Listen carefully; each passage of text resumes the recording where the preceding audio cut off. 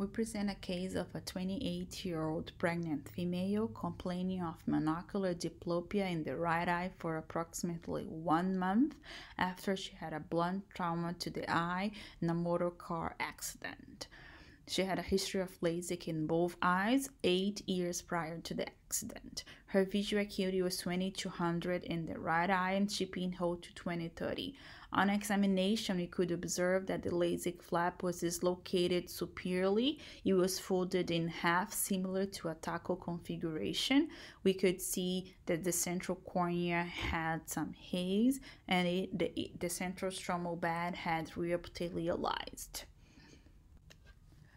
So here we see a lot of uh, epithelium on the surface of the stromal bed that we have to remove uh, thoroughly. So we use a crescent blade to remove the epithelium 360, not only on the top of the stromal bed, but also in the periphery on the uh, normal cornea outside of the flap. We proceed with the same thing uh, under the LASIK flap. We use the blade to remove all the epithelium in the area. Have to be careful to not tear the flap.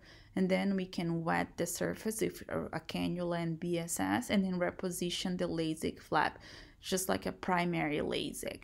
And, and this time it's important to make sure that the LASIK flaps the LASIK flap edge is aligned. So use a wet Weck-Cel to ensure alignment and then a dry Weck-Cel in order to make sure there's no fluid under the flap and then that there's no movement and the flap is well uh, positioned.